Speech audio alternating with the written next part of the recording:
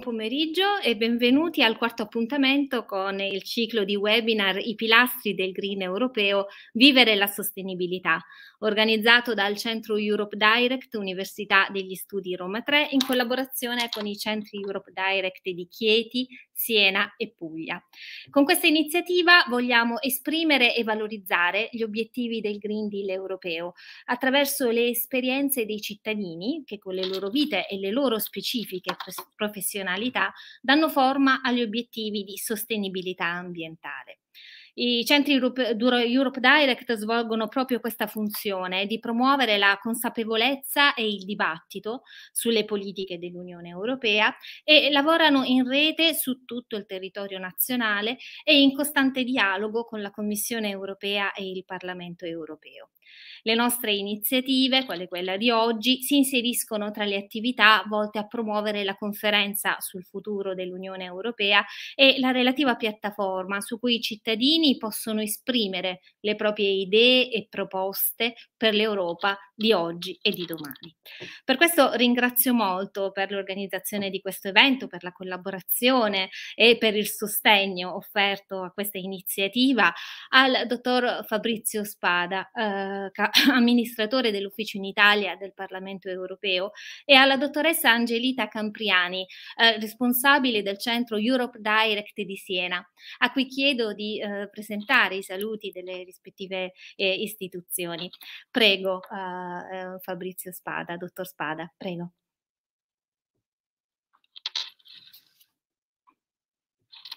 Può accendere il microfono gentilmente? Grazie. Eccoci. Grazie professoressa Moschetta, è stato veramente un piacere per me aderire al vostro invito, mi fa molto piacere essere con voi questo pomeriggio.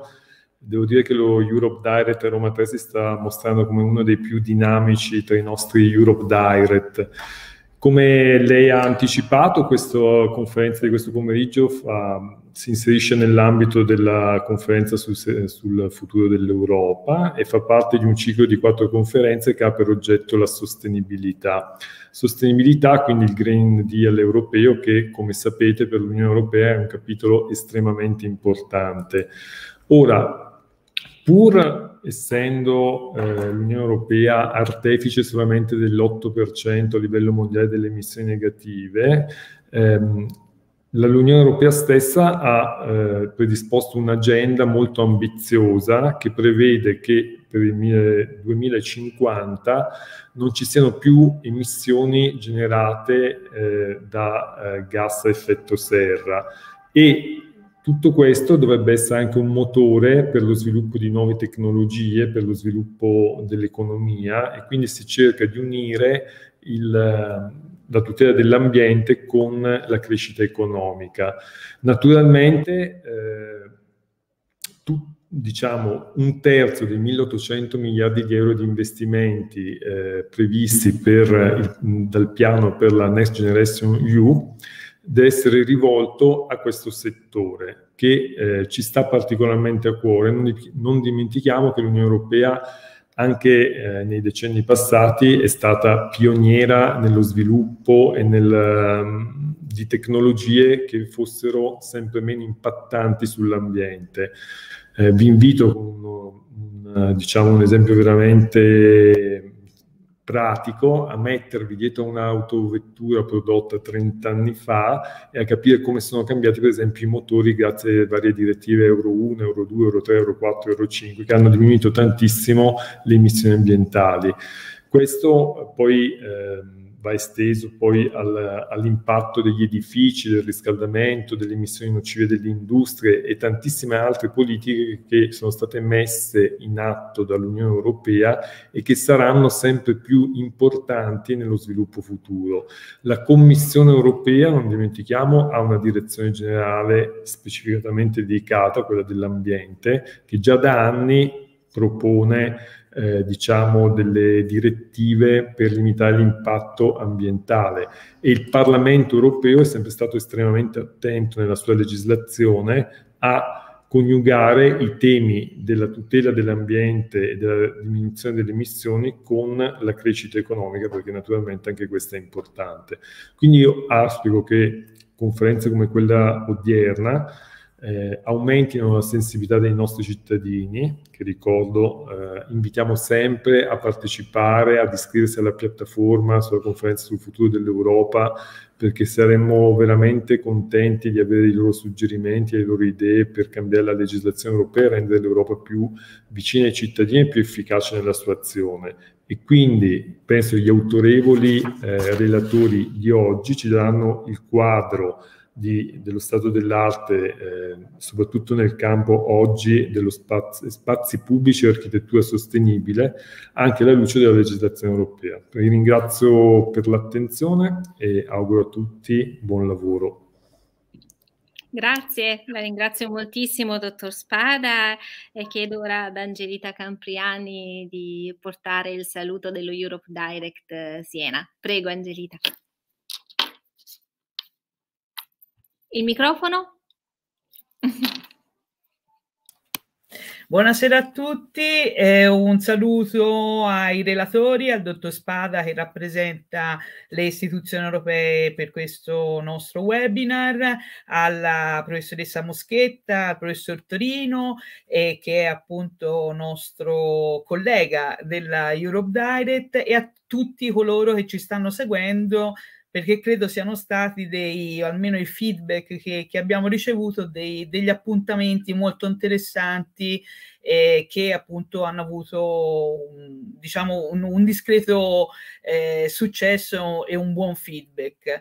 Perciò sicuramente continueremo anche nel 2022. Io sono Angelita Campriani, eh, responsabile della Europe Direct che è all'interno dell'Università di Siena dal 2009 è una ricca esperienza che si, diciamo, eh, si è poi riversata sul, sul, territorio di Siena, ma anche di Arezzo e di Grosseto.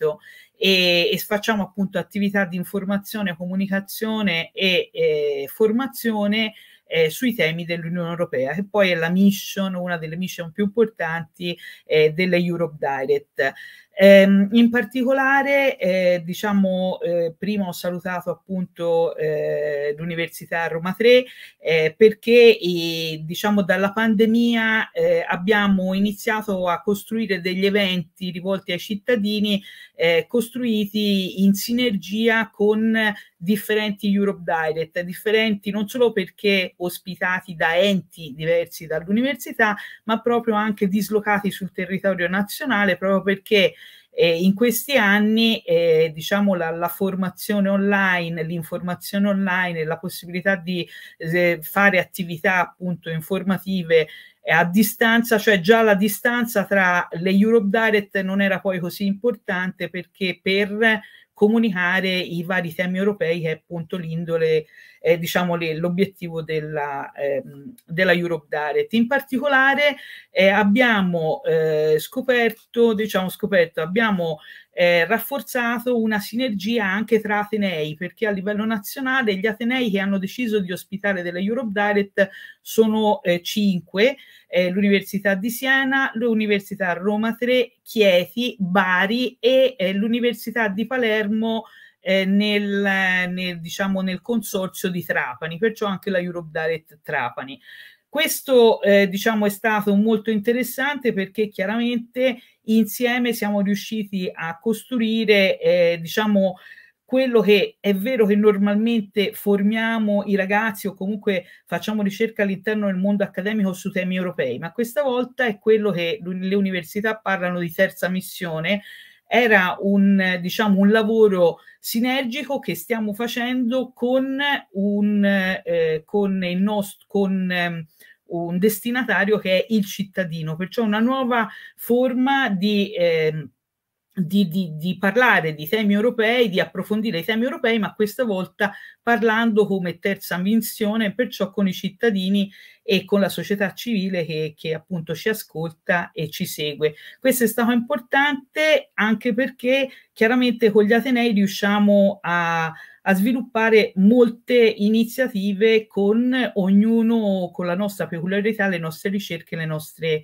iniziative. Io volevo salutare di nuovo il, la Europe Direct Roma 3, augurargli una buona eh, il 22 di dicembre un, un buon momento per l'inaugurazione, per incontrare i cittadini e appunto continuare questa nostra mission anche come Atenei. Buon lavoro a tutti. Grazie, grazie Angelita per la collaborazione. Il nostro centro Europe Direct eh, è una delle new entry nella famiglia degli Europe Direct in Italia e quindi evidentemente siamo molto lieti di, eh, di collaborare e di costruire iniziative insieme. Quindi grazie, grazie per, per, il, tuo intervento, per il tuo intervento oggi. E, bene, io mh, mm, ringrazio il, il, dottor Spada, ringrazio Angelita Campriani, fondamentale il supporto delle istituzioni, del Parlamento europeo, della Commissione europea e di tutti gli Europe Direct. Contribuiamo tutti ad uno stesso obiettivo, quello di parlare con i cittadini eh, e valorizzare le opportunità che l'Unione Europea offre a tutti noi cittadini. Benissimo, dunque mh, mm, direi che possiamo entrare nel vivo ecco, di questo eh, quarto incontro di questo ciclo di webinar che dedicheremo al tema Vivere il green, spazi pubblici e architettura sostenibile. E, ehm, prima di iniziare vorrei eh, riportarvi i saluti eh, del professor Andrea Farì. Come vedete dalla locandina, il professor Farì, eh, docente di, di diritto ambientale presso il Dipartimento di Giurisprudenza dell'Università Roma 3, avrebbe eh, partecipato con molto piacere e moderato i lavori di quest'oggi. Purtroppo mi ha comunicato che ha avuto un imprevisto e quindi mi ha chiesto di scusarsi con tutti i relatori e con il, tutto il pubblico pubblico che ci sta seguendo eh, con tanto affetto e attenzione eh, nelle nostre attività e io confido senz'altro che ci sarà opportunità di collaborazione con il professor Andrea Farì, è una persona di grandissima competenza e di grandissima disponibilità, quindi assolutamente contiamo sul suo, suo supporto come membro della squadra ecco, del nostro centro Europe Direct. Bene, eh, io mh, mhmm, diciamo farò le sue veci, quindi eh, condurrò io e introdurrò io i relatori lasciando loro spazio. Uh, dunque, spazi pubblici ed architettura sostenibile. Um, abbiamo scelto questo tema. Noi sappiamo come il piano d'azione della Commissione europea, che mh, mhmm, simbolicamente è intitolato Green Deal europeo, proprio voler imprimere un nuovo corso nella definizione delle politiche ambientali politiche ambientali che assumono le sfaccettature e le inclinazioni più varie. Eh, lo abbiamo visto in questi webinar che hanno diciamo, tracciato questo nostro primo percorso di comunicazione con i cittadini. Eh, sostenibilità ambientale significa parlare di, di salute, eh, sostenibilità ambientale significa parlare di ritmi produttivi che abbiano un rispetto della della, eh, della natura e dei ritmi della natura. Eh, significa parlare di energie rinnovabili, di efficienza energetica, di attività economiche ecosostenibili e eh, significa mh, mm, pensare a, uh, e progettare lo spazio che ci circonda in una rinnovata prospettiva che valorizzi una relazione bionivoca fondamentale tra lo spazio, l'ambiente in cui viviamo e l'individuo, la salute dell'individuo e la salute della collettività in quanto tale. Quindi questa è l'idea, credo che questo webinar eh, che eh, conclude questo ciclo dedicato ai pilastri del green europeo, conclude almeno per quest'anno, per quest'anno solare, sia, vada proprio a, a, compiere un percorso circolare che abbiamo effettuato nel, in queste quattro tappe. E sono molto molto felice e ringrazio per la loro partecipazione, collaborazione e la loro generosità comunicativa, fatemelo dire, perché questa è stata un'esperienza bellissima per me per conoscere tante persone, eh, tanti esperti, tante persone che hanno elevatissima professionalità, ma di una carica umana veramente molto bella. Quindi lasciatemelo dire in relazione a tutti i relatori che in questi quattro incontri ci hanno accompagnato. E quindi io rivolgo il mio grandissimo ringraziamento ai relatori di quest'oggi, al professor Giuseppe Barbiero, docente di ecologia e biologia generale presso l'Università della Valle d'Aosta, all'architetto Anna Carulli, presidente dell'Istituto Nazionale di Bioarchitettura, al dottor Marco Nieri, che abbiamo già conosciuto nel nostro primo webinar, eh, bioricercatore ed esperto di ecodesign e salute dell'habitat. Ora chiederò a ciascuno di portare il proprio contributo attraverso le proprie prospettive e seguiremo tutti con grandissima eh, curiosità e interesse quanto, eh, quanto ci diranno in merito alle opportunità di questa nuova visione del rapporto tra spazio che ci circonda onda e salute individuale e collettiva. Quindi eh, vi ringrazio molto. Seguiremo l'ordine alfabetico indicato in locandina e quindi eh, per primo lascio la parola al professor Giuseppe Barbiero che ci parlerà di progettazione biofila, biophilic design. Prego.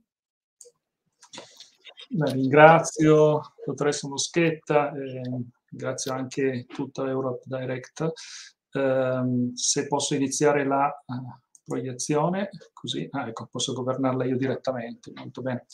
Um, uh, io sono un ricercatore, come è stato detto, di uh, ecologia, sono un biologo e mm, negli ultimi sette anni ho cominciato ad occuparmi di progettazione biofila, biophilic design, un po' come uno spin-off della mia ricerca principale, che era invece la verifica sperimentale della ipotesi della biofilia. Eh, in questo intervento di presentazione eh, presenterò diciamo, a grandi linee quelli che sono diciamo, gli elementi che permettono di mh, proporre questo nuovo modo di progettare gli spazi artificiali che siano in armonia con il mondo della natura. Eh, la mia università, il laboratorio di ecologia affettiva della mia università, ha sviluppato alcune eh, di queste progettazioni che in questa situazione, in queste condizioni vi presenterò. Intanto però eh, forse la cosa migliore è cominciare con una definizione di biofilia, cioè biofilia intendiamo eh, una parola coniata negli anni 60 e che un, diciamo, eh, mette insieme l'amore, filia, per la vita, Dio. Eh, che può essere intesa in due modi, sia l'amore per la vita, nel senso della comunità degli esseri viventi, tutti gli organismi viventi appartengono a una comunità biologica e, e, la biofilia potrebbe essere l'amore per queste comunità. Oppure può essere più estesa, cioè l'amore intesa come amore per la natura, cioè dove la vita è intesa come ecosistema, quindi presente della comunità biologica e dell'ambiente, quindi eh, non vivente, che eh, ne fa da matrice perché essa prosperi. Qualunque sia l'approccio, sia amore per la vita, sia per l'amore per la natura, in ogni caso la biofilia e un, ha una matrice eh, evoluzionistica molto importante, cioè ehm, noi siamo ormai giunti alla conclusione che si tratti una, di un tratto della personalità umana che si è sviluppato nel corso del, fin dagli albori della, della nostra umanità, nel corso della nostra storia evolutiva, perché aveva un obiettivo che era quello di ricercare, di aiutarci a ricercare rifugi sicuri e risorse abbondanti. E quelle che oggi noi consideriamo fondamentalmente delle, delle preferenze di carattere estetico per certi ambienti, in realtà se riguardiamo con l'ottica di una popolazione umana che riusciva a, diciamo, ad entrare in relazione con il proprio ambiente, ecco, vediamo come queste due cose siano uh, strettamente correlate. Uh, il primo a parlare di eh, biofilia è stato eh, Erich Fromm, un eh, grandissimo psicoanalista del secolo scorso, secondo il quale eh, la biofilia è la tendenza psichica a conservare la vita e a combattere la morte. Eh, la cosa molto importante è che Fromm già osservava eh, che essa è una potenzialità eh, primaria, intrinseca alla biologia umana, cioè è presente in tutti gli esseri umani. Ha solo bisogno di essere stimolata, di avere un contorno di ambiente eh, che la sostenga. A fianco di questa definizione di Eric Fromm, che rimane fondamentale, centrale, c'è quella della, uh, di un biologo, Edward Osborne Wilson, per il quale eh, che ci offre una prospettiva della biofilia da un punto di vista mh, eh, anche filogenetico. Quindi la biofilia, secondo Wilson, è l'innata tendenza a concentrare la nostra attenzione sulle forme di vita e su tutto ciò che le circo- ricorda e in alcune circostanze ad affiliarvisi emotivamente. Ecco, questo è l'aspetto, secondo me, molto importante perché ci permette di vedere come la biofilia in realtà sia un adattamento evoluzionistico che ha una matrice filogenetica ma dall'altra ha bisogno di uno stimolo, è innata, ma ha bisogno di uno stimolo per eh, svilupparsi sotto un profilo ontogenetico. Ecco, questo è un po' eh, a grandi linee la, la, biofilia che ci permette di entrare nel, ta- nel tema eh, importante che è la progettazione biofila. La progettazione biofila è una, diciamo, una volta che abbiamo capito come funziona la biofilia, la sua importanza perché ci permette non solo il contatto con la natura, ma ci permette anche due effetti psichici molto importanti. Il contatto con la natura tende a ridurre il nostro stato di stress e a migliorare le nostre prestazioni cognitive. Questi sono due dati che ormai derivano da studi eh, sedimentati negli ultimi 30 anni, sia dal porto, pensando alla stress reduction theory di Roger Ulrich o la tension restoration theory di, di, uh, dei coniugi Kaplan. Ecco, questi ambienti diciamo, la, hanno permesso di entrare nel merito della, di quella che potrebbe essere, una volta che abbiamo capito come funziona la biofilia, quali sono gli ambienti che possono stimolarla. Come dicevo, l'ipotesi della biofilia è stata formalizzata nel 1993 da Stephen Kellert e Wilson, Edward Osborne Wilson, in un testo fondamentale del Biophilia Hypothesis che a distanza di anni rimane come un punto di riferimento fondamentale. Eh, Kellert poi successivamente ha dei due ha sviluppato di più l'aspetto degli ambienti artificiali con Building for Life nel 2006 e poi ancora eh, con eh, il Biofilm Design del 2008, le idee, le tesi, le ipotesi di, eh, di Kellert sono poi state sviluppate dalla Uh, società, da un società che, un, uh, che, fa da consulenza ad, ad architetti la Therapy Breakgreen con i famosi 14 pattern di Biophilic Design, che hanno sistematizzato diciamo, l'idea, il concetto, l'immagine che noi abbiamo della, della progettazione biofila. Uh, il, originariamente i pattern erano molto più numerosi, ma uh, il Therapy Break Green è riuscita in qualche modo a ridurne a 14 fondamentali che permettono di uh, dare diciamo, una checklist al, all'architetto, al progettista per creare un ambiente che sia il più possibile biofilo. So, questi 14 pattern, 7 sono, riguardano la presenza di natura, natura nello spazio, che riguardano la connessione visiva con la natura, la connessione non visiva con la natura, gli stimoli sensoriali non ritmici, il flusso di aria e la temperatura di un certo ambiente, la presenza di acqua in quell'ambiente, la luce eh, e infine la connessione con i sistemi naturali. Eh, poi ci sono tre pattern che riguardano le analoghi naturali, le forme e i modelli biomorfici, la connessione materiale, cioè i tipi di materiali che utilizziamo, la complessità e l'ordine con cui vengono organizzati. E infine quattro che riguardano la natura dello spazio, cioè il tipo di spazio che, vengono, che viene utilizzato nel biofield design, la prospetto, il rifugio, il mistero e il, la situazione di rischio e periglio. Ecco, detto questo, eh, è chiaro che questa progettazione, eh, una volta che è stata definita in questi termini molto più operativi, pratici da Therapy in Break Green, che non a caso erano, erano sono architetti, eh, in pochi anni il, eh, la Bifield Design è entrato a far parte di eh, sistemi di certificazione edilizia avanzati come il Living Building Challenge nel 2000, questi 2016 e il Well Building Standard anch'esso nel 2016. Sulla base di questa esperienza che noi abbiamo fatto eh, come diciamo, gruppo di ricerca che si occupava della verifica sperimentale della biofilia, aprendoci anche a questa prospettiva della progettazione biofila, pur non essendo noi dei progettisti, abbiamo contribuito a un progetto, progetto Biosfera, Biosfera Project, che eh, andava a realizzare, che realizza dei moduli abitativi ad alta efficienza energetica, nella quale progressivamente abbiamo introdotto elementi di biofield design. Sono moduli che sostanzialmente dei prototipi che servono, che una volta realizzati possono essere eh, spostati e eh, diciamo mh, integrati in determinati ambienti. E poi noi studiamo di, praticamente le reazioni delle persone che abitano questi moduli, moduli abitativi. Il primo che abbiamo uh, messo a punto è il, questo modulo qui, che vedete ha anche una struttura da, uh, che, che, può essere facilmente spostabile con un, con un, un bilico, con una, un mezzo a ruote, ehm, e Biosfera 2.0. Il nostro obiettivo in Biosfera 2.0 era quello di verificare che certi accorgimenti di biofield design permettevano la riduzione dello stress. Questo era il punto fondamentale. Se non riuscivamo a osservare questo tipo di cose, era evidentemente che la verifica sperimentale della progettazione biofila non, sarebbe, non avrebbe avuto successo. In realtà abbiamo avuto un, un buon risultato eh, che poi ha, ci ha permesso di mettere a nostro, a nostro diciamo, al nostro eh, punto l'indicatore di qualità biofila, sulla quale abbiamo costruito la nostra esperienza che ci permette di, pre, di prevedere la, gli effetti del biophilic design adottato in ambienti piuttosto che in altri.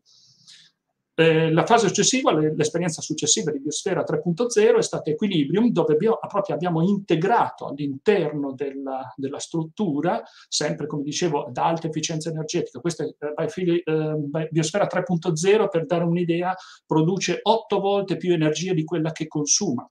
Quindi è un sistema di altissima efficienza resta un prototipo, ma comunque dà un'idea di quanto si possa realizzare, non più l'obiettivo è net zero energy, cioè il, l'obiettivo è, la, è, un edificio che, che, non consuma energia, ma addirittura possiamo pensarlo in positivo, cioè il, l'edificio può produrre energia. Ecco, questi aspetti secondo me sono molto interessanti perché se integrano il biofield design possiamo avere anche degli aspetti di sostenibilità personale. Qui vedete per esempio la finestra laterale che permette un contatto visivo con la natura, i materiali che vengono utilizzati, il, il legno, eccetera.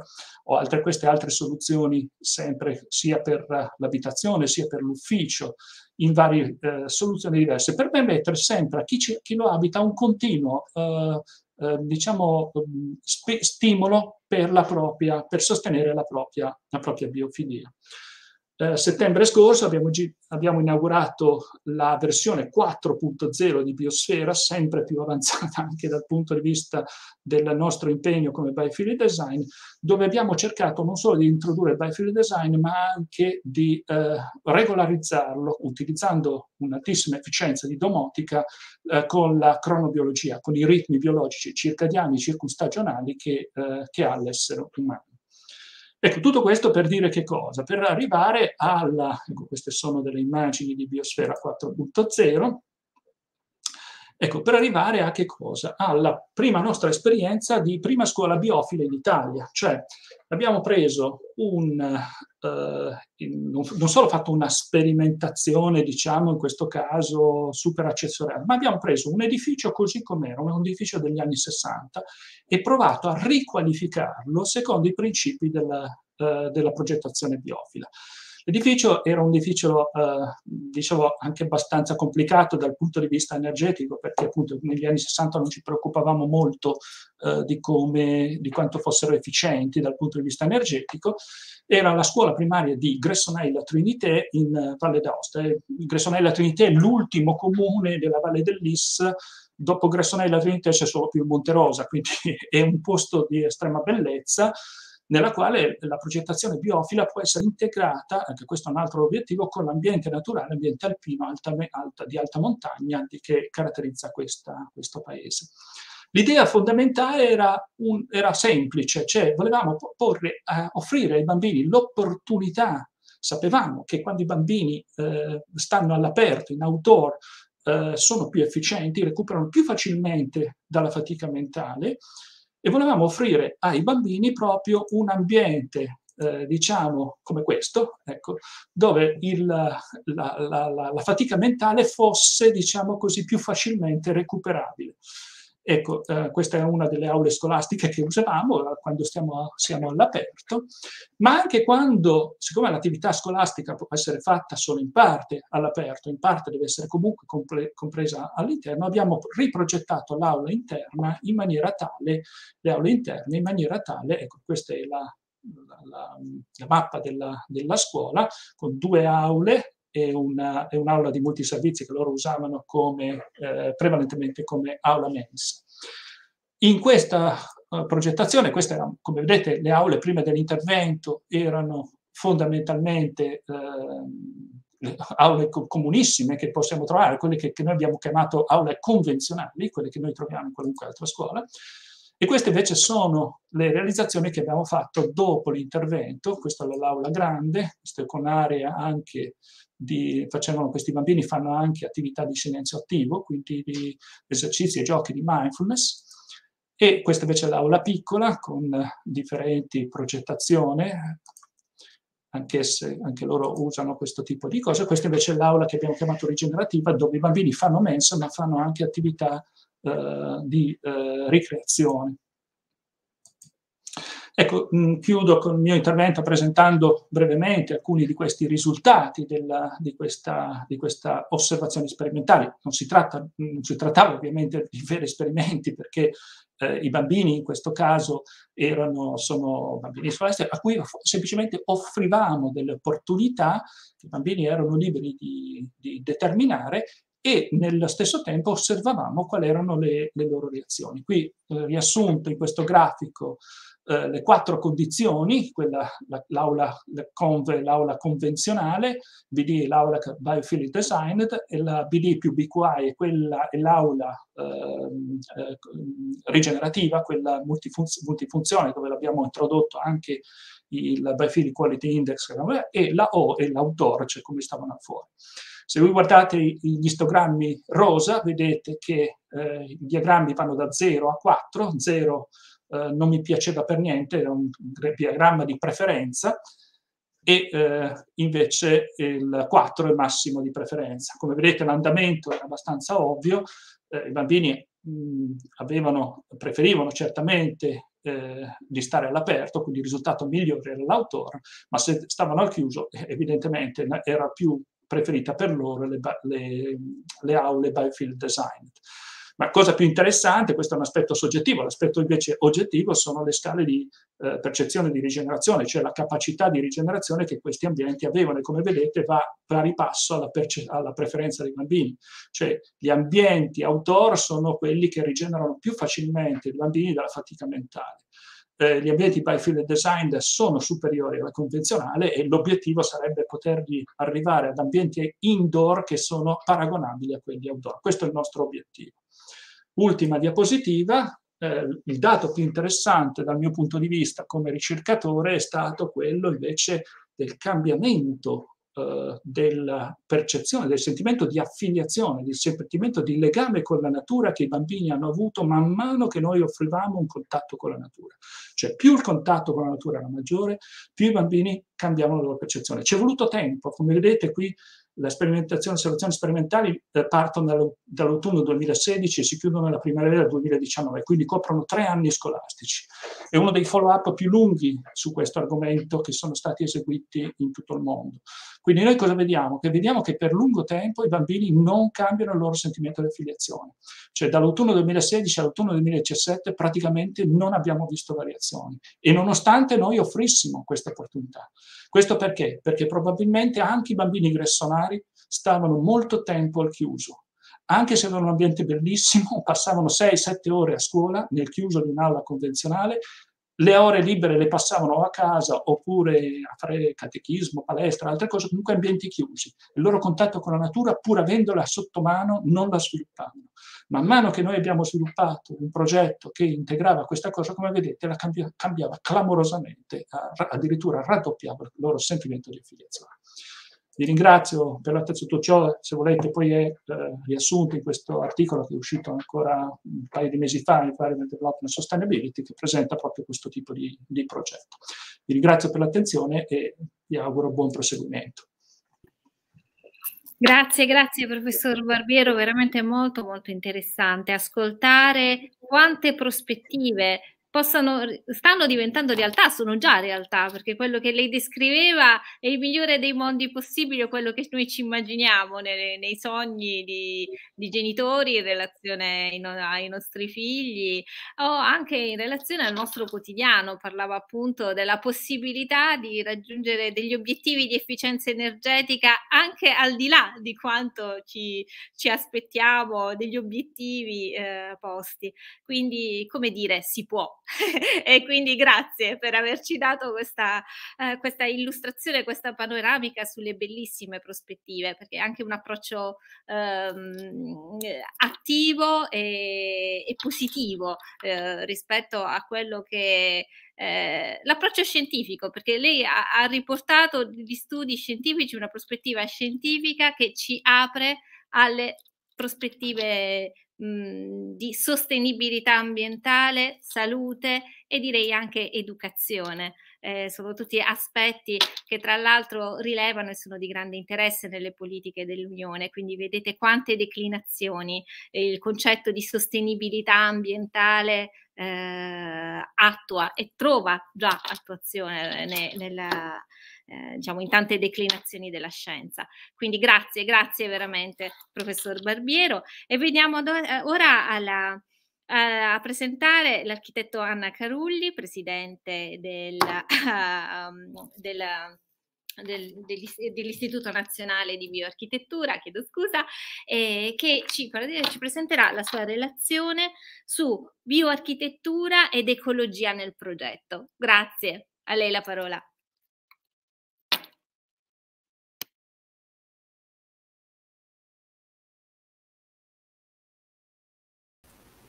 Mi sentite adesso? Sì. È, è d'obbligo chiaramente una eh, presentazione eh, su quello che ha rappresentato in Italia lo sviluppo e la diffusione della bioarchitettura eh, che sono avvenuti ehm, ed avvengono tuttora grazie al ruolo eh, cruciale e ehm, rivestito dall'istituto eh, in questi ormai 31 anni, quest'anno abbiamo fatto 31 anni eh, eh, dalla nostra fondazione e ehm, che l'istituto ha rappresentato il principale e più autorevole punto di riferimento italiano per il mondo nella bioarchitettura, proprio perché bioarchitettura, ricordo, è un marchio registrato e quindi anche come terminologia bio prima di architettura è stato Uh, come dire, una, mh, un segnale importante eh, di, proprio nel segnalare quelle che per noi erano i fattori relativi all'uomo e quindi alle relazioni che l'uomo aveva con il proprio ambiente. Quindi ha svolto un ruolo determinante per la sensibilizzazione e l'informazione della società e la formazione degli operatori sui temi dell'abitare sano mh, nella riqualificazione del territorio e nella riconversione ecologica nel settore delle costruzioni. E all'interno del, dell'istituto ha vantato sin dall'inizio un, ehm, l'iscrizione di professionisti iscritti all'albo in tutte le varie discipline, per cui abbiamo sempre avuto un confronto multidisciplinare e lavorato sempre in equip. E ha costituito quindi un punto di incontro organico di riferimento e di raccordo nazionale ed internazionale per il mondo intellettuale e produttivo nei vari settori quali l'edilizia, l'urbanistica, la geologia, la biologia, ma anche quello della gestione delle risorse ambientali del territorio e quindi eh, l'incentivazione dello sviluppo eh, sostenibile. Lo abbiamo, lo vediamo adesso in tutte le azioni appunto dell'Unione Europea, l'abbiamo già citato prima e eh, quindi eh, come dire, nei vari settori siamo riusciti anche nel rinnovamento e la riconversione negli ultimi 30 anni in un approccio innovativo fondando su una visione integrata mh, quelle appunto che dicevo erano un, intanto una visione ehm, olistica eh, che eh, 30 anni fa proprio abbiamo coniato eh, in una visione d'insieme più forte che mai nel partire affrontando le nuove sfide eh, alla base eh, di quelle che erano le attuali problematiche legate proprio come abbiamo visto negli ultimi anni alla trasformazione del territorio e a qualsiasi eh, livello eh, diciamo sia avvenuta nel, nelle varie eh, ricadute territoriali. I fattori che eh, intanto eh, hanno determinato secondo noi la struttura e l'evoluzione di un paesaggio eh, sono state molteplici, hanno compreso eh, vari eh, eventi naturali, fra cui come sappiamo i cambiamenti climatici, i processi geomorfologici e pedogenetici, la colonizzazione da parte di specie animali e vegetali, quindi molti fenomeni legati all'interno antropico che hanno cambiato fortemente eh, l'uso del suolo e quindi da qui una frammentazione anche nella visione urbanizzata delle megalopoli e delle metropoli e in riferimento anche poi all'inquinamento e al eh, disturbo diciamo, eh, che eh, diciamo, abbiamo avuto, poco fa il professore citava l'inquinamento indoor, appunto che per noi è stato un, uh, un riferimento uh, e un approfondimento nel settore eh, proprio delle nostre ricerche. Gli interventi poi invece di rigenerazione eh, urbana e di recupero edilizio hanno rappresentato un'occasione per l'istituto e per i suoi esperti proprio di eh, mettere a frutto i principi di trasformazione sostenibile all'interno di un processo eh, come elemento centrale di, eh, riferito al benessere dell'uomo.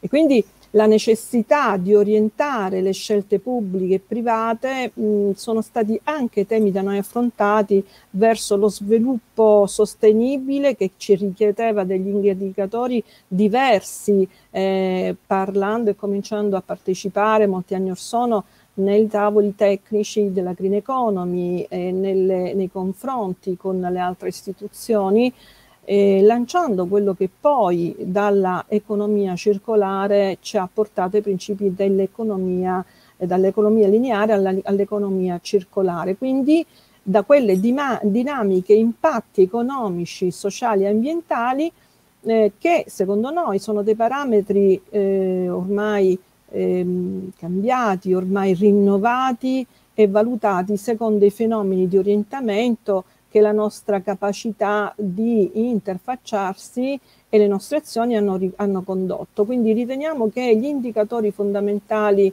eh, sono diventati eh, proprio, eh, proprio l'uomo con le sue relazioni sul territorio, nella società, con l'ambiente e quindi ehm, la, il valore economico attualmente sono proprio quelle che sono la vivibilità del cittadino come utente finale.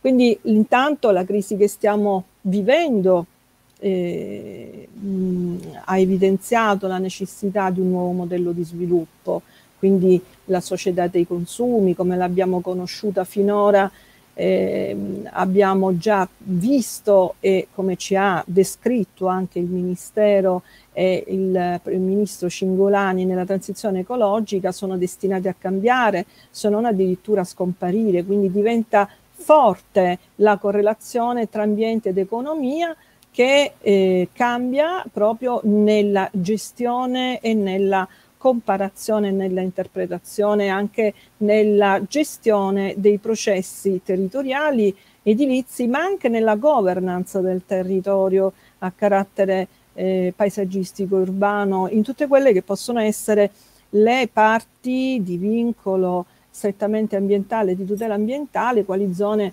importanti da tutelare come le zone ZPS SIC, per esempio, che eh, chiaramente sono un patrimonio importantissimo del nostro eh, territorio, eh, un patrimonio fantastico del nostro territorio nazionale. Come vediamo in questa slide, il concetto proprio di cui vi parlavo prima era eh, la parola bio prima di architettura, che era con, considerata era proprio un'indicazione di architettura per la vita che a nostro avviso e quindi dal nostro fondatore Ugo Sasso nel, negli anni 80 e 90 volevano, volevamo indicare proprio la necessità di architettura per la vita, quindi di attenzionare nei vari processi, innescando, eh, che avevamo innescato poi nel processo edilizio in quegli anni, dal boom economico eh, degli anni 60 in poi, una necessità di frenare quelle che erano eh, il tipo di produzioni di materiali a carattere chimico e eh, a carattere tecnologico che ricadeva sulla natura e proprio sull'uomo. Questo eh, fattore chiaramente molto forte ehm, ha portato a una, a una mh, visione della sostenibilità in chiave eh, ridimensionandola in uno sviluppo e gestione diverso rispetto al passato, quindi eh, qui il cambio di paradigma, eh, da qui anche la necessità di vedere l'edificio in maniera diversa, abbiamo cominciato a parlare di edificio sostenibile, efficiente, energia zero e quindi qui i nostri due principi simboleggiati appunto dai fondamenti dell'istituto che sono la biocompatibilità e l'ecosostenibilità, che sono i due principi di base che l'Istituto 30 anni fa ha eh, coniato e messo ehm, diciamo in, a regime su quelle che sono state sempre le, le applicazioni fondamentali e ehm, li abbiamo applicati sia in cantiere, nei processi, quindi nell'applicazione dei processi e eh, protocolli energetico-ambientali, quindi a volte in maniera volontaristica, poiché sappiamo bene che ehm, proprio i, i, marchi di certificazione energetica ambientale in alcune regioni sono eh, anche eh, di natura volontaria. E, ehm, e, quindi attraverso questa sperimentazione negli anni abbiamo potuto, attraverso i nostri esperti, verificare la sinergia su questi due fattori che eh, si riferiscono alle varie normative come il sistema edificio, quindi eh, riferimento normativo man mano appunto che abbiamo affrontato negli anni dalla pura filosofia alla quindi allo studio dei fenomeni sociali e quindi virtuosi in questo caso, siamo passati proprio all'applicazione delle varie normative. Quindi posso citare per quanto riguarda l'inquinamento indoor, innanzitutto ci, ci è venuto incontro nella, anche nell'osservazione nei luoghi confinati eh, la, eh, la, legge sulla sicurezza, il testo unico eh, o la legge 81 dell'80 dove tutela eh, e, e, chiede un monitoraggio a, nei luoghi di lavoro dell'aria, della qualità dell'aria, quindi uno studio attento sull'inquinamento indoor, addirittura in luoghi confinati in, eh, in, alcune zone eh, a molte aziende, eh, secondo normati- la normativa del testo unico, hanno l'obbligo di monitorare l'aria prima di consegnare appunto alla ditta appaltante il, eh, il luogo di lavoro. Quindi, come vedete, le, le, le, le, sperimentazioni nei vari settori sono state tante da poter acquisire e a poter poi verificare sul campo con delle misurazioni digitali. L'altra sicuramente certamente è stata la 192 sul risparmio energetico che negli anni dal 2005 in poi ha portato appunto all'applicazione da parte dell'istituto e sperimentazione di un marchio di certificazione eh, ambientale dove siamo riusciti così secondo il protocollo Itaca a eh, approfondire alcuni temi fra cui anche l'analisi del sito che per l'accettazione dell'istanza per l'istituto e l'applicazione del marchio diventa fondamentale e primaria. Quindi le, eh, le, come vedete alla fine eh, arrivando ai giorni nostri eh, ci siamo proprio ehm, visti eh, come dire, riconosciuti nella divulgazione e nella visione globale, olistica di quella che è stata la nostra filosofia nel decreto del eh, dell'11 ottobre 2017 sulla obbligatorietà dei criteri ambientali minimi, che è il decreto più importante a nostro avviso, dove segna eh, la soglia di qualità eh, nell'applicazione nel processo edilizio per gli appalti pubblici e questo mi faccio riferimento soprattutto anche all'ultimo, oltre che al decreto, chiaramente che è diventato subito cogente e di cui l'Italia sicuramente è operatore virtuoso, poiché lo ha subito applicato in relazione al codice d'appalti, ma ehm, proprio il 2 dicembre il ministro Cingolani eh, ha eh, stretto questo protocollo importante con ANAC, con il presidente Busia, dove hanno chiaramente hanno mh, giustamente dopo le esperienze ehm, eh, avute dal 2017 fino ad ora registrato appunto l'applicazione de, eh, dei CAM eh, sia nelle pubbliche amministrazioni che nel privato e ehm, hanno delineato quello che è un monitoraggio puntuale importante eh, del, dei lavori dei CAM applicati appunto nei lavori pubblici. Questo è un passaggio a nostro avviso fondamentale perché attraverso questo decreto nelle 17 categorie eh, ormai diventate 18 poiché con il decreto dell'aprile scorso, del, dell'aprile 2020, abbiamo l'ingresso del CAM verde che ci permette di progettare anche nella eh, parte diciamo di eh, bioclimatica e di attenzione al paesaggio verso eh, appunto il verde, verde pubblico e comunque zone agricole, di poter interagire e applicare quegli strumenti e piani operativi eh, che eh, sono a livello appunto, come vi dicevo, di governance territoriale.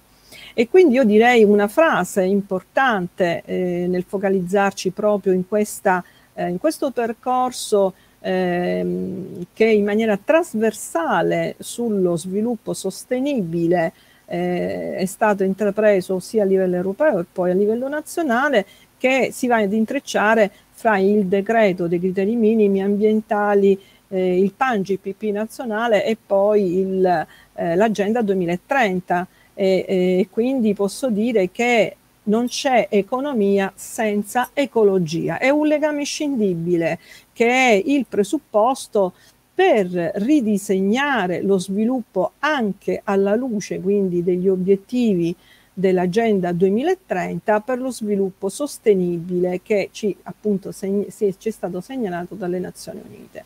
I veri fondamenti di, quindi della società, a parte il capitale sociale, è il capitale umano a nostro avviso e il capitale naturale, proprio nella, eh, nel rinnovamento della tecnologia in grado poi di porre dei miglioramenti promuovendo un nuovo modello di produzione e di consumo che si traduca in un'economia veramente circolare. Se da un lato possiamo considerare che esistono delle, eh, delle situazioni di grande respiro che non possono essere es- eluse a, in, a livello prioritario, che non possono essere rimandate, dall'altra abbiamo proprio la salvaguardia ambientale che eh, riferita alla qualità degli ambienti edilizi urbani eh, da qui dipendono tutti i fattori di trasformazione riferiti all'attività diffusa sia dei professionisti eh, sia del, di tutti quelli attori che sono, fanno parte del processo edilizio. È eh, importante qui una breve carrellata su quelli che sono i materiali in genere eh, applicati, eh, riferiti sempre un po' alla tecnologia e alla quelle che sono le ultime diciamo, scoperte innovative, ma sicuramente eh, il riferimento va eh, fatto a quella che è la ricaduta sia eh, nei luoghi interni, nei luoghi così definiti dalla, dal Ministero della Salute, luoghi confinati, e rispetto all'esterno del, quindi parliamo di inquinamento indoor e outdoor. Mm, breve carrellata di quelli che sono delle progettazioni eh, riferite quindi nella scelta dei materiali poi eh, c'è la differenza, quindi materiali certificati eh, che eh, nell'applicazione, la messa in opera e qui eh, rientriamo un po' anche un po' nel, un, tocchiamo no, i CAM riferiti al 110 che in effetti però nella loro applicazione mh, solo nel risparmio energetico non ci ha soddisfatti come istituto perché ritenevamo che nell'applicazione primaria del decreto chiamandolo eco bonus, quindi nell'applicazione delle 17 categorie, avrebbe un po' fatto la differenza dando una favolosa ehm, opportunità a tutti i professionisti a tutte le pubbliche amministrazioni italiane per poter applicare e quindi favorire l'utente finale nel eh, rinnovamento, riuso, recupero del proprio edificio o dei, eh, propri, eh, delle proprie proprietà. Quindi questo un po' è po' la parte critica da parte dell'istituto. Io credo di aver finito il tempo perché è comparsa la nostra dottoressa Moschetta che ringrazio e credo di aver sintetizzato in pochi minuti un po' diciamo uno scorcio su quelle che sono state le operazioni dell'istituto in questi 31 anni. Grazie, grazie architetto Carulli, veramente ci rappresentato in maniera molto chiara ed efficace l'attività del vostro istituto e mi piace proprio richiamare alcune espressioni che lei ha utilizzato, non c'è economia senza ecologia e visione olistica. Eh, credo che questo approccio sia veramente il filo conduttore e la prospettiva delle politiche del futuro eh, in ogni settore. E credo Ma lo diceva lei prima, quando lei ha citato poco fa, e mh, molti non attenzionano che la sostenibilità prima di essere ambientale necessariamente deve essere nella classica denominazione, però sui fatti, sulle azioni economiche e sociali per l'uomo. Certo, assolutamente. E poi altro aspetto della, della sua relazione, l'importanza delle scelte pubbliche e private. Poi magari ne parleremo in conclusione. Eh, Con grande piacere. La ringrazio moltissimo. Grazie e, a voi. E dunque siamo al, al dottor Marconieri che chiedo di... Ecco qui, dottor Marconieri, non lo vedo. Ci siamo? Eccoci qui. Grazie, dottor Marconieri, che ecco qui, ci accompagnerà con una nuova uh, relazione. Ha già partecipato al primo webinar del, di questo ciclo di incontri. Ora siamo veramente in attesa di ascoltare la sua relazione Verde Pubblico Rigenerante. Prego. Molto volentieri. Ehm, mi ricollego certamente sia al primo intervento che abbiamo fatto il 2 di dicembre, dove si parlava degli effetti del verde sulla nostra salute, e ehm, in parte a quello che ha detto precedentemente il professor Barbiero. Eh, noi abbiamo una innata neurologica connessione con la natura che ciascuno poi sviluppa un po' a suo modo e ehm, che viene chiamata biofilia.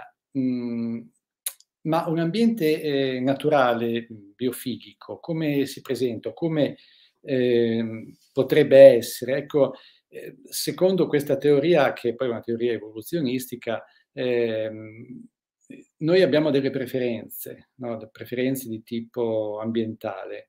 Eh, ci piace stare per esempio su un rilievo, osservare un corso d'acqua o uno specchio d'acqua un pochino più in basso, avere davanti a noi dei prati, vedere alberi e cespugli un po' sparsi che ci permettono di avere una certa visibilità e controllo della situazione e essere probabilmente un po' eh, riparati alle spalle. Ecco, questo è un po' l'ambiente eh, quasi il rifugio dell'antico uomo, eh, l'uomo che precedeva forse l'uomo sapiens sapiens.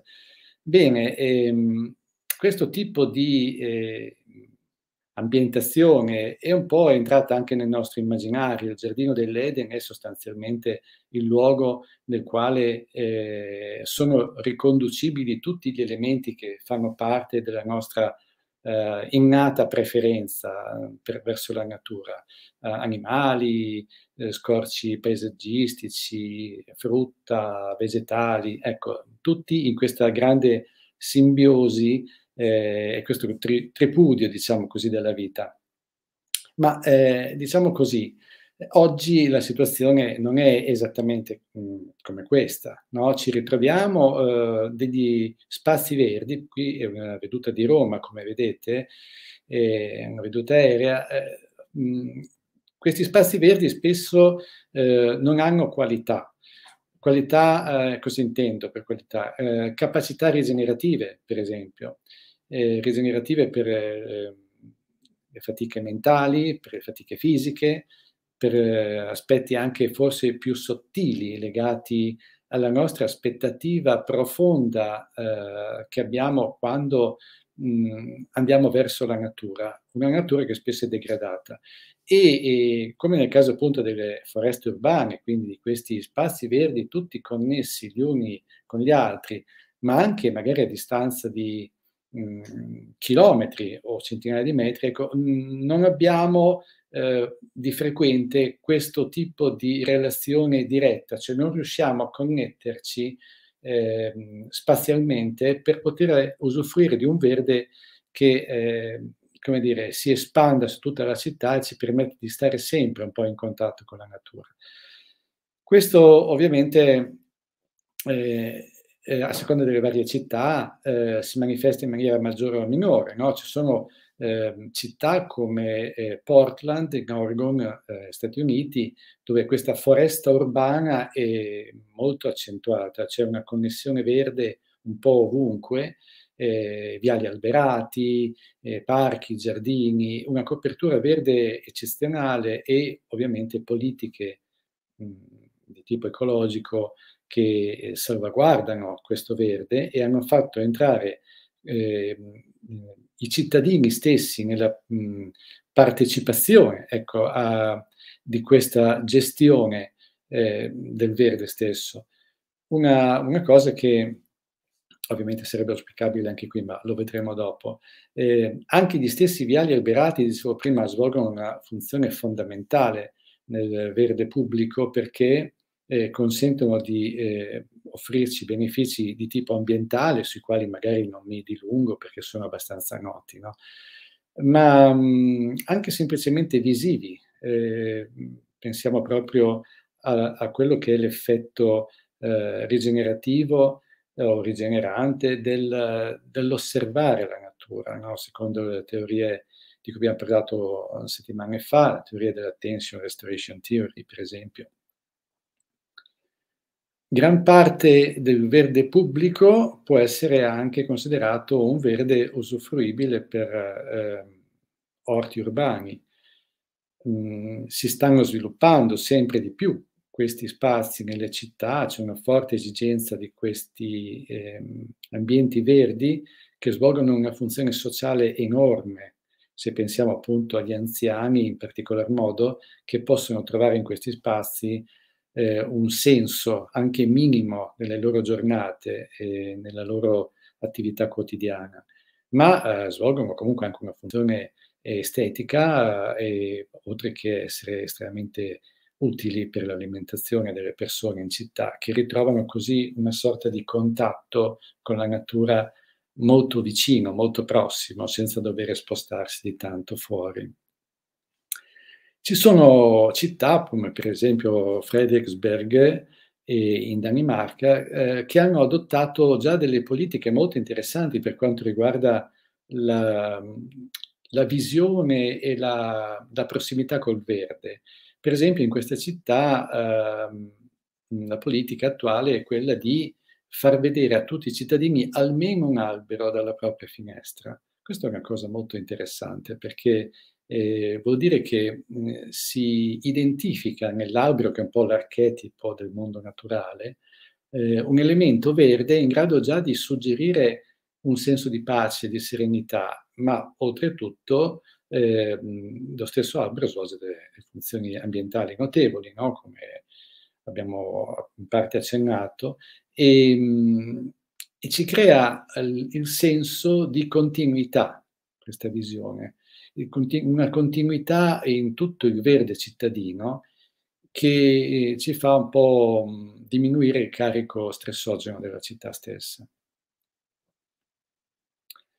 Un eh, docente dell'Università della British Columbia a Vancouver, facendo tesoro di questa esperienza, per esempio, ma anche di altri studi molto interessanti che riguardano l'influenza del verde sulla salute e, e la nostra mh, capacità di poter essere rigenerati dagli spazi verdi, ha coniato questa regola del 3-30-300 che in breve eh, ci dice che tutti dovrebbero essere in grado di vedere almeno tre alberi da casa loro, eh, ogni quartiere dovrebbe avere almeno il 30% di copertura arborea, quindi vedete sempre alberi, e nessuno dovrebbe vivere a più di 300 metri da un parco, uno spazio verde. Abbiamo visto ehm, due settimane fa che, per esempio, alcuni studi eh, si sono eh, interessati di comprendere quanto la distanza da uno spazio verde possa essere cruciale per le persone per usufruire di questo spazio verde e se la distanza supera i 300 metri, per esempio, già le persone faticano a raggiungere lo spazio.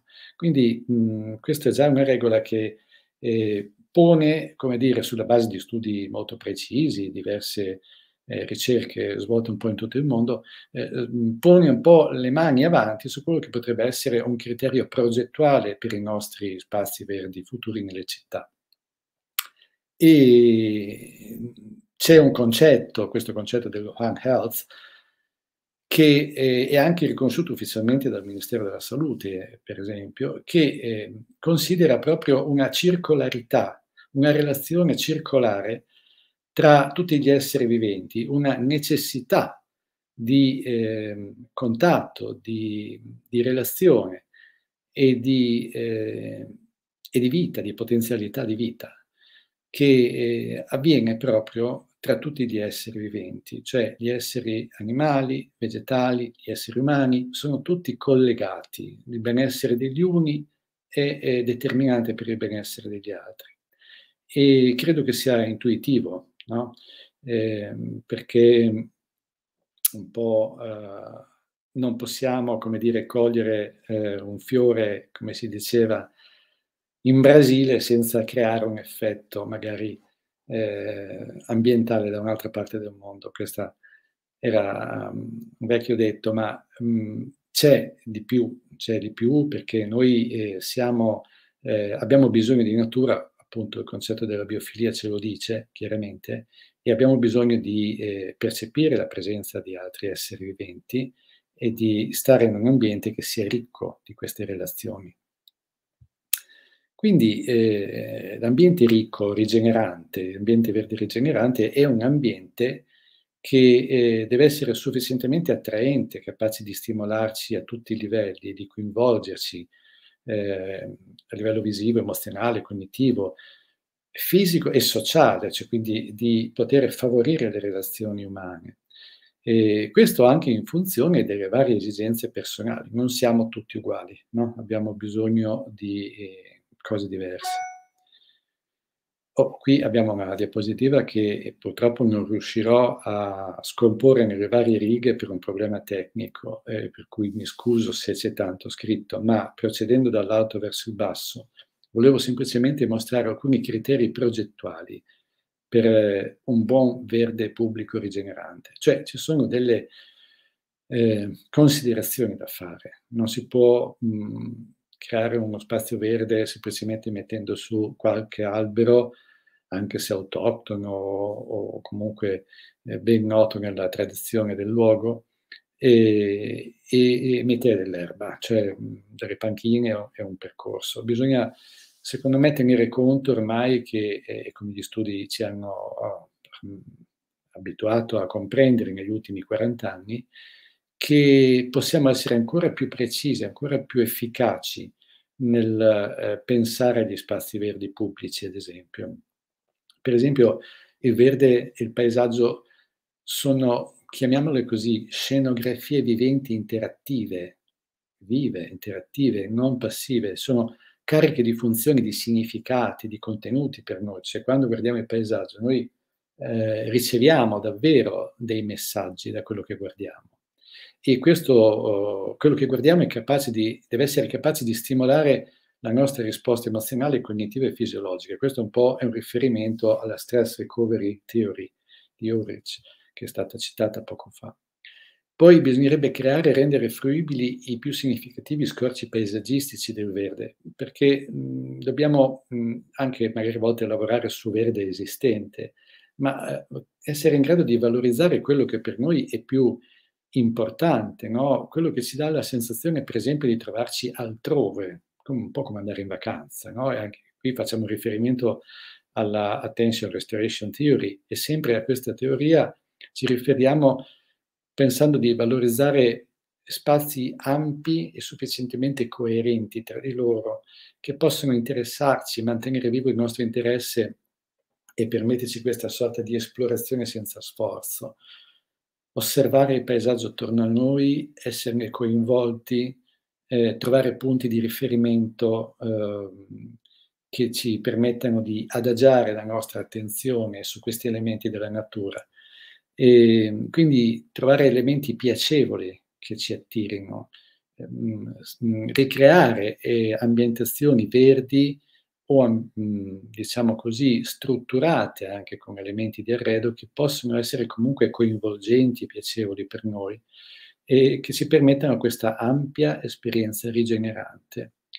E, e infine, eh, sempre riferendoci a questa teoria, eh, l'ambiente deve supportare le nostre intenzioni e le nostre aspettative, quindi non deve essere un ambiente che eh, ci allontana perché noi non siamo in grado di, eh, per esempio, di goderlo appieno o abbiamo dei limiti nel godere questo ambiente e dobbiamo riuscire in questo ambiente a abbandonare lo stress, gli stati di ansia, di delusione, la noia, ecco il fastidio.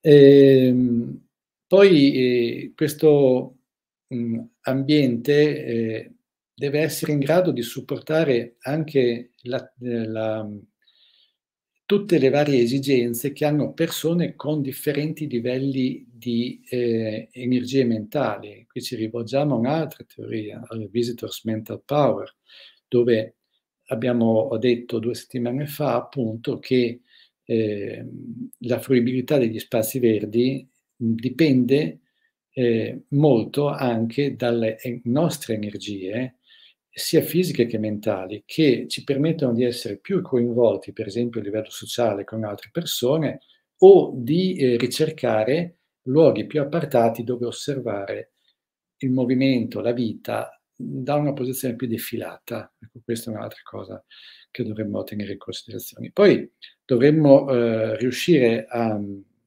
a consentire anche un accesso ehm, alla, agli alberi, cioè considerare gli alberi come elementi, ovviamente non solo decorativi ovviamente, ma elementi vitali, eh, capaci di trasferirci energia. Abbiamo parlato la volta scorsa di, del bioenergetic landscape, di, di campi elettromagnetici che si stanno studiando, emessi dagli alberi, che possono influire sull'energia dei nostri organi. Ecco, ma l'albero ha sempre avuto un'attrazione particolare per le persone, anche non solo eh, nelle culture, eh, dire, più legate alla terra o più indigene, ma anche nella nostra società molto spesso ci sentiamo attirati dagli alberi. Bene, questo senso di mistero eh, nasconde anche davvero eh, potenzialità enormi. E, ehm, e poi dovremmo avere anche alcune sensibilità particolari, cioè pensare il verde pubblico e rigenerante eh, richiede, come dire, di calarci i, nei panni del fruitore. Quindi dobbiamo mh, offrire sia la visione che la fruizione di differenti gradi di espressione della natura, sia spontanea ma ehm, o selvatica, che anche quella più curata domestica, cioè noi abbiamo bisogno di vedere il giardino, ma abbiamo bisogno di vedere anche i cespugli, l'ambiente selvatico, il nido dell'uccellino, così come la possibile tana del riccio. Dobbiamo eh, cogliere quegli aspetti che mh, mm, ci fanno pensare di trovarci davvero in uno spazio naturale. Gli spazi blu, gli spazi acquatici sono importantissimi sia per le attività che si svolgono eh, sulle loro rive, sia per il senso di mh, mm, pace e di contemplazione che ci inducono, sia per gli effetti di ionizzazione quando l'acqua è in movimento. Dobbiamo ridurre il rumore artificiale e accrescere i suoni di natura, introdurre materiali naturali, ecco che qui ritorna anche il discorso della bioedilizia, della bioarchitettura, per, eh, sia per un discorso ecologico, ma anche per un discorso di coerenza sociale, cioè non mh, mm, possiamo mh, mm, estraniarci dal fatto che se stiamo progettando un ambiente naturale eh, mm, potremmo usare per esempio eh, che ne so, materiali sintetici, ecco, no, non, non possiamo togliersi da questa atmosfera della natura, dobbiamo restare coerenti in quello che facciamo e offrire alle persone esperienze di coerenza. Quindi anche i materiali naturali per quello che riguarda percorsi, panchine, eccetera, dovrebbero essere eh, i più comuni, i più utilizzati per questo tipo di spazi. Ovviamente dobbiamo curare accessibilità e inclusività, eh, criteri di progettazione multidisciplinari, anche eh, in collaborazione, quando serve, con personale sanitario o comunque personale che lavora in campi eh, a contatto con ehm, persone deboli e svantaggiate. Introdurre bellezza, mm, questa è una cosa importante, non uh, dimenticarci il valore dell'arte, che mh, mm, è fondamentale, e sostenere eh, il senso di comunità e di supporto sociale. E, beh, mm, diciamo, una cosa importante, e vado verso la conclusione, è anche la partecipazione attiva dei cittadini. Qui vediamo uno dei, eh, dei messaggi del Comitato di Piazza Vittorio Partecipata proprio a Roma, per il giardino di Piazza Vittorio, appunto, e questi messaggi diffusi tra la popolazione dalla popolazione stessa sono uh, estremamente coinvolgenti e ci, ci parlano della volontà che hanno i cittadini di entrare anche nella gestione eh, di questi spazi, oltre che nella progettazione. E, ricordo, e sempre mi riferisco a Roma, eh, come anche il degrado e il vandalismo siano effetti che derivano da, dall'avere progettato male gli spazi o da non averli progettati affatto.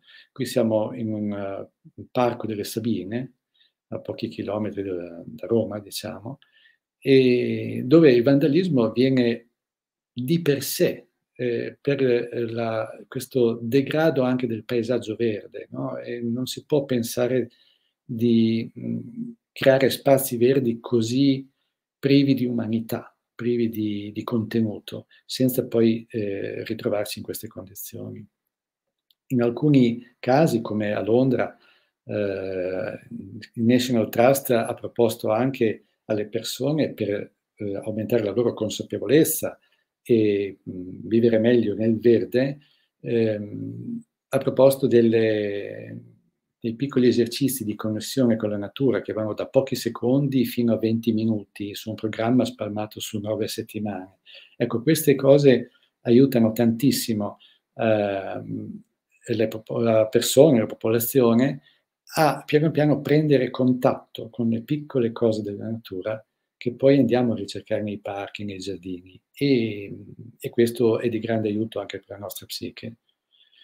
E come ultimo esempio cito queste three good things in nature, cioè tre cose buone che si notano, che possiamo notare in natura, prendere un taccuino e, e segnare queste, queste cose che ci colpiscono passeggiando in un parco, in un giardino, per la città, perché in questo modo eh, si attiva eh, come prescrizione sociale proprio eh, che possiamo offrire alle persone, si attiva il senso di appartenenza, il senso di connessione con quello che abbiamo attorno.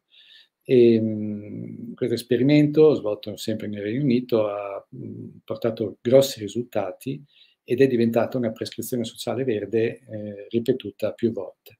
Ecco, questi sono alcuni dei criteri che io volevo comunicare, ecco, perché progettare uno spazio verde eh, pubblico ehm, come dire, è sempre una, un'operazione che ha un grosso contenuto sociale, eh, però siamo i primi come progettisti a dover sentirci eh, umili in questo aspetto e calarci, come ho detto prima, nei panni del più debole.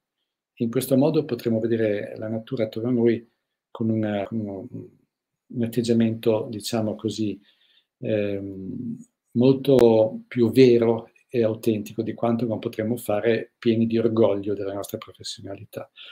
L'atteggiamento biofilico anche nella progettazione degli spazi verdi, quindi è benvenuto eh, proprio per queste ragioni.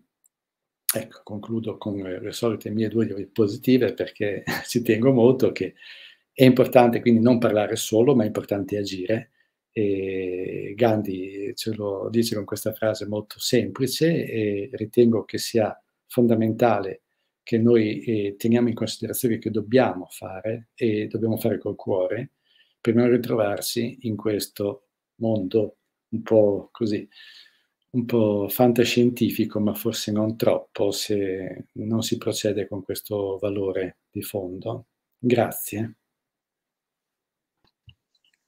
Grazie, ringrazio tantissimo Marco Nieri, una presentazione bellissima che ci, veramente ci ha portato a, a, nel contatto della umanità degli, degli, spazi verdi. Mi è piaciuta tantissimo questa, questa definizione perché questa, questo rapporto circolare tra tutti gli elementi della natura, noi siamo elementi della natura e lo spazio che ci circonda deve diventare espressione di questa circolarità, quindi veramente grazie. Io ringrazio tutti i relatori, eh, vedo che anche dal pubblico c'è proprio una eh, un'attenzione particolare e soprattutto c'è eh, l'attenzione verso questa prospettiva positiva che ci avete descritto, di quanto effettivamente si può realizzare. Tutti noi abbiamo spesso un approccio passivo o, o pessimista rispetto a quello che ci circonda e invece la consapevolezza attraverso eh, le vostre relazioni di poter fare, si può fare. Eh, probabilmente tante soluzioni sono anche alla portata di mano. Io avrei una, una curiosità da rivolgere a tutti eh, i, i, relatori. Questa prospettiva declinata nella vostra professionalità e eh, quindi di attuazione di questa sinergia, di questa circolarità de, dei diversi elementi della natura e quindi di questa interazione tra spazio, individuo, collettività. E in quali termini, a vostro avviso, c'è un'adeguata preparazione del pubblico a scelte consapevoli in questo senso? Perché poi credo che il filo conduttore di tutti i vostri interventi riconducano al concetto della scelta individuale, collettiva, della scelta pubblica e, e, e della scelta privata. E, e, quindi in quale direzione sta, stiamo andando? Certo, conoscere queste prospettive, a mio avviso, consentono anche di scegliere, perché non c'è scelta senza conoscenza. Quindi qual è la vostra percezione rispetto a, all'implementazione, all'attuazione eh, de, di queste prospettive nella vita di ciascuno? Prego, non so chi vuole, è una curiosità, ripeto, affascinata dalle vostre prospettive, dai vostri interventi. Parto io? non ti indugi. Dunque, eh, a mio parere c'è una grande richiesta di qualità per quanto riguarda gli ambienti naturali e la fruibilità degli ambienti naturali. Adesso sto in questo ambito perché non voglio espandermi troppo. E c'è una grande richiesta eh, che però passa eh, poi second- secondariamente, diciamo così, eh, nella sua attuazione eh, reale, ehm, purtroppo per problemi di tipo ehm, economico. Io devo dire che tempo fa ho avuto rapporti con l'amministrazione comunale di Roma e c'erano in ballo cose molto interessanti, che però per, eh, che avrebbero fatto la gioia anche di tante persone. Ma purtroppo per problemi economici non si è potuto mm, procedere. E mh, credo che ci sia un, questo grosso problema. Quindi, innanzitutto uh, questo. Poi c'è un problema di informazione generale anche della classe politica. Eh, bisogna riuscire a, passare, a far passare un messaggio importante, eh, anche semplicemente in termini molto semplici, proprio lineari. Eh, se le persone vivono eh, spazi verdi, la natura, con più assiduità, con più consapevolezza, eh, ci sono meno spese mediche. Questo ormai è stato assodato. E c'è richiesta, c'è richiesta di questo tipo di, di, immersioni nella natura, anche nei boschi, e di avere un verde di qualità. Ormai le città sono ambienti dove non si respira più. Eh, dobbiamo trovare questi polmoni, dobbiamo trovare il minimo spazio verde possibile, deve diventare un piccolo giardino a disposizione di tutti. E, ehm, quindi ci sono problemi economici, problemi di consapevolezza della classe politica che spesso non prende iniziative perché non, non, è, non è sufficientemente preparata. Ci sono problemi anche di informazione dei cittadini, delle persone, no? quindi eh, per esempio il fatto di mh, poter salvaguardare il verde che hanno già e avere atteggiamenti mh, eh, rispettosi di quello che c'è, eh, sarebbe già anche questo un passo importante. E, è incredibile, per esempio, nella mia città, Bologna, eh, passare ehm, nei prati dove sostano tante persone e vedere quanti rifiuti ci sono. No? questo fa perdere di valore eh, l'ambiente. No? L'ambiente si degrada un po' alla volta e ci abituiamo al degrado. Questa è un'altra tematica importantissima. E, vabbè, insomma, sono alcuni, alcuni punti di vista che ho voluto lanciare, ma vorrei anche sentire gli altri relatori dal loro punto di vista. Sì, tra l'altro leggo un commento che proprio si riallaccia a quanto lei, dice, lei, diceva, i costi di una scelta di questo tipo, che poi effettivamente probabilmente condizionano anche le politiche pubbliche, anche qualche parola su questo per dare un, una reazione rispetto alla domanda intervenuta dal pubblico. Grazie.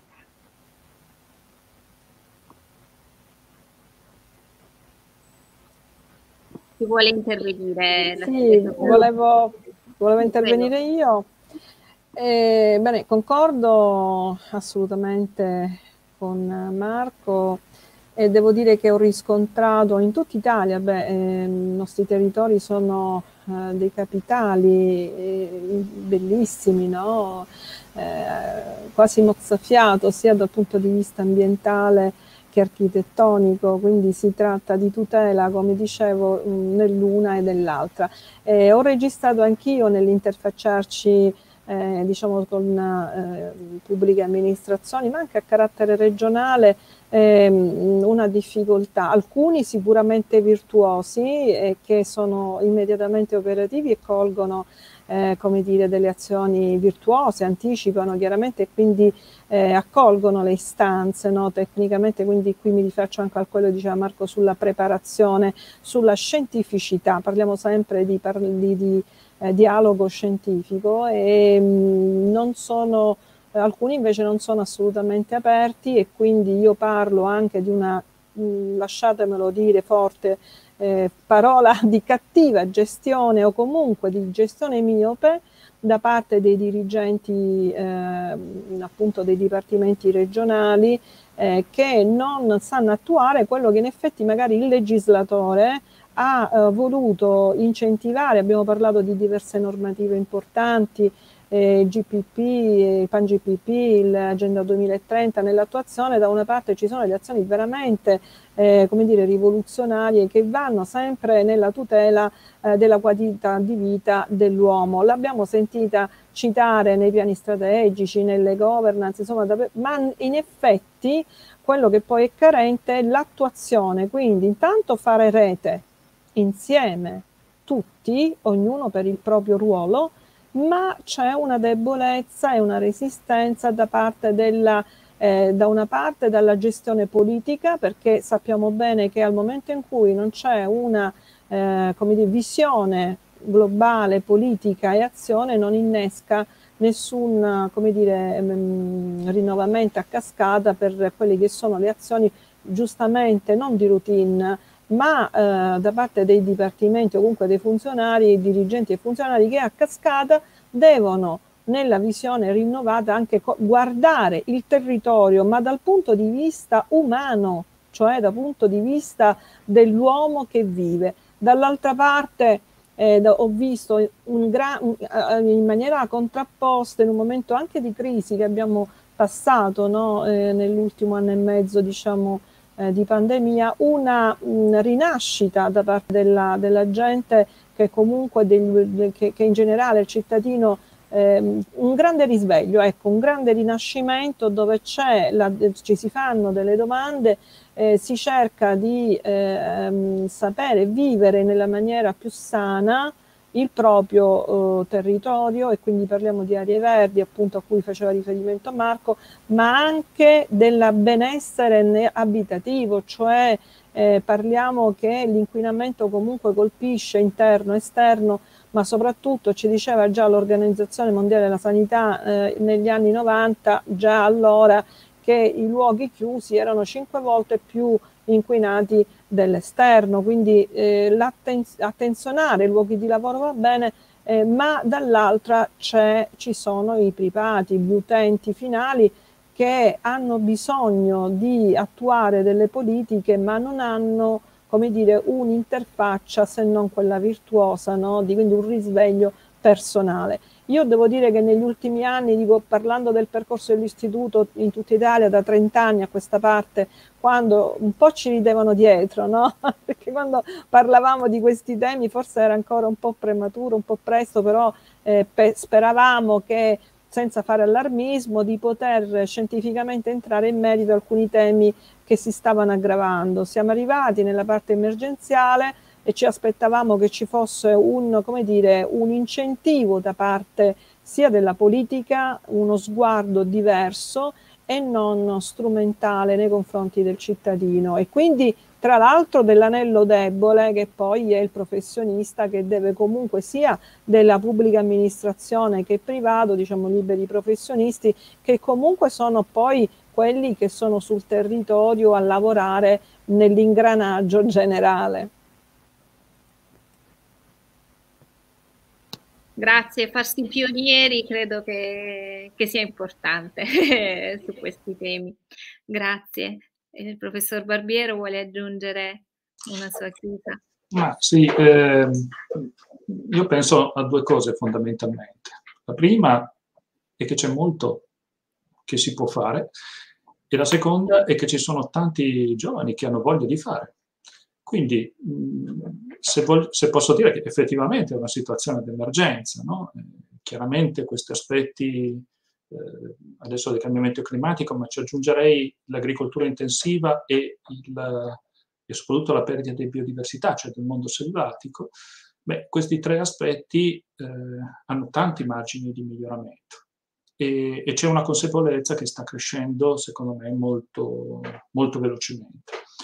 Ehm, margini di miglioramento, pensiamo all'energia, anzi alla potenza necessaria. No? Eh, L'Organizzazione delle Nazioni Unite stima che il bisogno di potenza di, ehm, nel mondo sia costantemente di 17 terawatt. Ebbene, eh, sembra una, una, cosa enorme, no? Una, una quantità di eh, richiesta di energia pazzesca, ma se uno poi pensa che la potenza effettiva, che so, del vento, di, da solo è 80 terawatt, molto di più di quello che, di cui avremmo bisogno. Il solare, 580 terawatt, molto di più di quello. Cioè, le, gli spazi per migliorare, il problema è come, come utilizzarli, utilizzarli in maniera intelligente. L'altro elemento che mi sta particolarmente a cuore è l'elemento di, eh, per, quello che, per, quello che, i nostri studi stanno, nostri, intendo non miei del laboratorio, ma di, della comunità scientifica che si occupa di questi argomenti, che converge su un aspetto, cioè il contatto con la natura non è una moda, il contatto con la natura è un tratto evoluzionistico, come il nostro naso e le nostre orecchie. Possiamo coprirci le orecchie far finta di non avere il naso, ma tanto la respirazione passa di lì possiamo usare la bocca per un certo periodo, ma la respirazione passa per il naso, non c'è strada diversa. Il problema sarà, come l'ultima vignetta eh, suggeriva eh, il collega Marco Nieri, no? eh, il problema sarà come far arrivare la natura nelle città, perché ormai la, il destino sarà questo, cioè i prossimi 15-20 anni si stima che il 70% degli abitanti del pianeta vivranno in ambienti urbanizzati. Non è una cattiva notizia in sé, perché questo vuol dire che gli ambienti rurali saranno più liberi dalla presenza umana e noi in Italia lo vediamo già il lupo si sta diffondendo negli Appennini perché gli Appennini sono stati disabitati e si sono riservati. Quindi questo vuol dire che la natura è forte, ce la può fare. Il problema sta a questo punto come riconnettiamo queste persone che sono urbanizzate, questi bambini che devono nascere e vivranno in città dove la natura in questo momento non c'è. Ma nulla vieta di pensare che la, la natura invada le città. Perché dobbiamo vivere in città brutte? cioè non, non c'è nessuna ragione. Quindi io credo che ci siano enormi margini di miglioramento e soprattutto vedo che ci sono un interesse, soprattutto nei giovani, di cercare soluzioni. Ecco, questi mi sembrano i due elementi che, con cui vorrei chiudere il mio intervento. Ecco.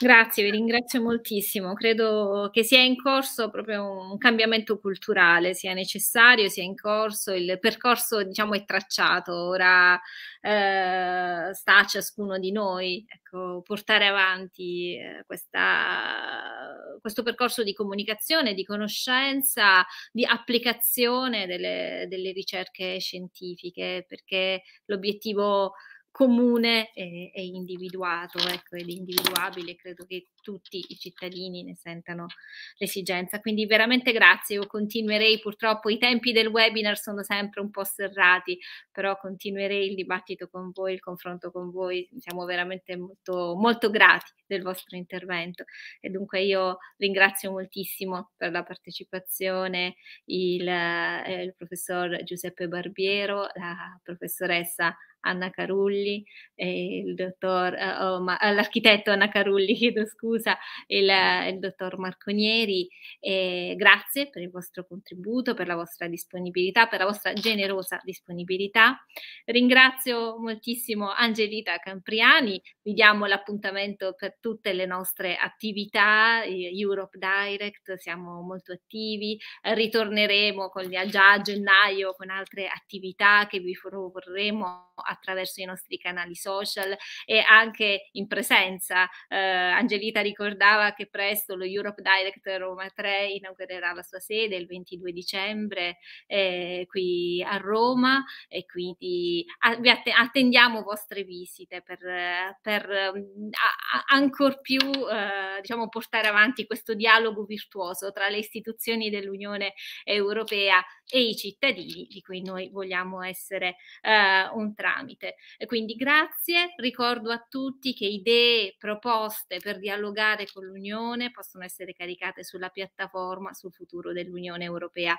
Partecipiamo alla conferenza sul futuro dell'Unione come cittadini attivi perché eh, possiamo plasmare l'unione che vogliamo, l'Europa, la vita che vogliamo nella, nella, nostra Unione Europea.